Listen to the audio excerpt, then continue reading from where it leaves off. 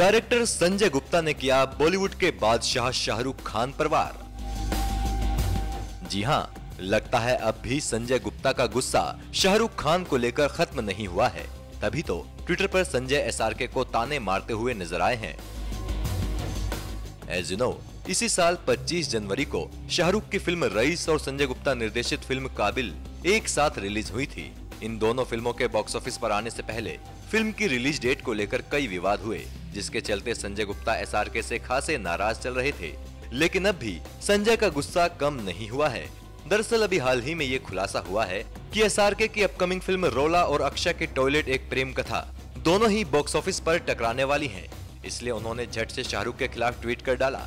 संजय गुप्ता ने ट्विटर पर लिखा, karma you beauty I love and believe in you so much I love how you go after all that with you करतम भुक्तम on Independence Day इस tweet से साफ़ है कि रईस काबिल क्लैश को लेकर संजय गुप्ता ने शाहरुख खान पर गुस्सा निकाला है।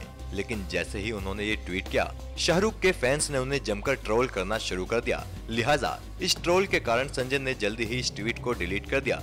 लेकिन यहाँ सवाल ये उठता है कि फ़िल्म क्लैश का गुस्सा शाहरुख खान पर उतारना कहाँ तक सही है? एनएमएफ न्यूज़ की रिपोर्ट।